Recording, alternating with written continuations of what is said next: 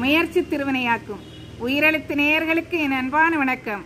இன்றைய திருக்குறள் அதிகாரம் பதினைந்து குறள் எண் நூற்றி நாற்பத்தி நான்கு. எனை துணையராயினும் எண்ணாம் திணை துணையும் தேரான் பிறனில் புகழ். எனை துணையராயினும் எண்ணாம் திணை துணையும் தேரான் பிறனில் புகழ். இதனுடைய பொருள் தன் செயல் தவறு என்று கொஞ்சமும் எண்ணி பார்க்காமல் அடுத்தவன் மனைவியை விரும்பி அவன் வீட்டினுள் வஞ்சகமாக நுழைபவன் எவ்வளவு மேல் நிலையில் வாழ்ந்தாலும் நாட்டில் வாழ தகுதி இல்லாதவன் ஆவான்.